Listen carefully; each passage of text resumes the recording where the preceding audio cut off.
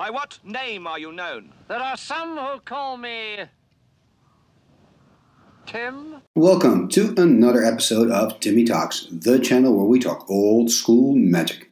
And today we are going to look at a game that I played against Anne, and he's playing with a Reanimator deck.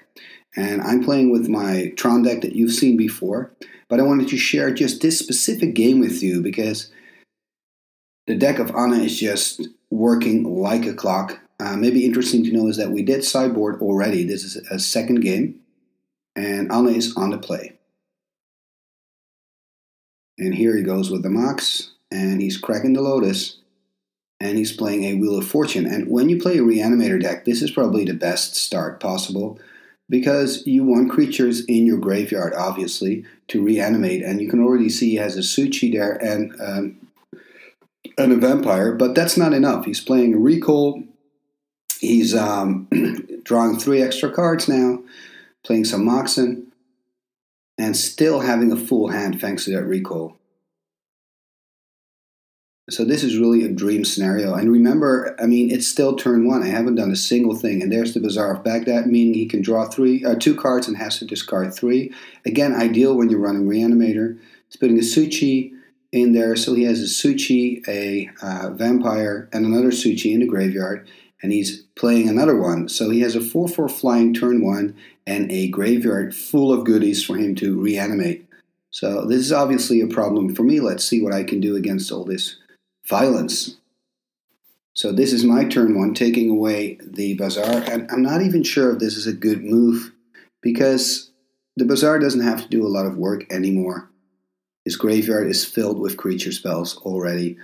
And there he goes playing his scrubland, attacking me. And I'm down to 16. And of course, he's playing a demonic tutor. Why not? Let's just play all the restricted cards possible in one or two turns. So, this is pretty crazy but I can enjoy these games when when a deck is going off like this. You know, I, all I can do is really just enjoy and sit back. I am playing a Library of Alexandria. Usually, I would feel pretty good, but with this board state, I'm feeling pretty well, not miserable. I'm enjoying the game, but there's no chance that I can win this one. So he's playing a Serra Angel, and maybe I can play some removal now with the white mana. And there's the swords on his angel. So he's gaining four life, so I'm on 12 and he's on 24. And attacking me again, going down to 8. And there it is, All Hallows Eve.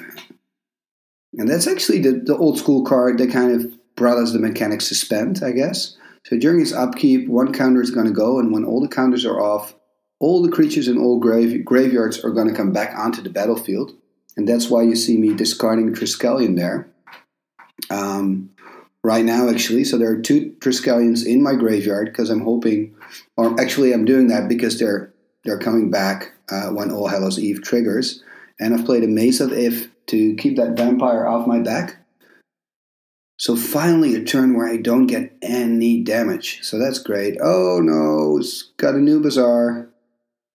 I couldn't really see what he's putting in there. I do see a Time Walk in his graveyard. And so next turn, all the creatures are going to return to the battlefield, all the creatures that are in the graveyard. And already having a 4 4 flyer on the board, but I have my Maze of Ith. What am I going to play for two? I'm playing, playing a Chaos Orb. That's pretty good. Passing turn. And this is interesting. Before the trigger goes off, or actually in response off, he plays his Bazaar of Baghdad. And maybe I'm not sure if you could see that properly, but he was discarding a Juzam Djinn and an Angel with that last Bazaar trigger. So that's just insane. So look at the board state. There are two vampires, an Angel, a 5-5 Juzam Djinn, and two Su-Chis. I mean, this is this is crazy. Um, and I'm on 8 live, so I'm not sure how I can survive this. Of course, I have two Trikes, so that's 6 damage in total that I can do, two flyers. I can disenchant the Su-Chi, but I believe the flyers are my biggest problem. I also have a Chaos Orb that I can flip still, and I have the I, and I have the Maze of Ith. So I have some weapons to use against uh, Anna's deck. And I think I'm going to flip on the Angel. Not on the Juzam Djinn here because the Juzam Djinn doesn't have flying. So I can always chump block the Juzam. And he's playing a disenchant on one of my trikes. So he's kind of forcing my hand here, so I have to remove three counters. Probably going to use it to get rid of one of the vampires. And I do. And this is a problem. So I'm, I'm on 8. I'm probably going to survive now using my uh, Ith, and I have to block. So taking 4 damage here, having 4 life left. I mean, the only good thing about this is that Anna's hand is empty, but I can no longer activate my library because I've been forced to play out my, my removal spells. So I, I no longer have seven cards in hand.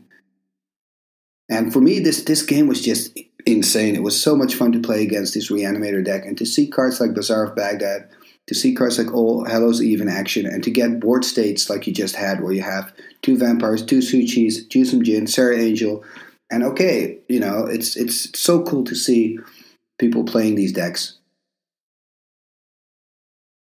And I'm drawing a Maze of Ith, but I've already played a land, so I cannot play. And I'm, I'm kind of showing some of my creatures. Um, I cannot play my uh, archaeologist anymore. Uh, I cannot play anything, and I'm going down. And this is it. This is the game. So I'm going to probably put the match online as well, but I just wanted to show you this game um, because it shows what a great deck Reanimator is. And I hope you enjoyed this match. And thank you for watching this episode of Timmy Talks, the channel where we talk old school magic. And see you next time.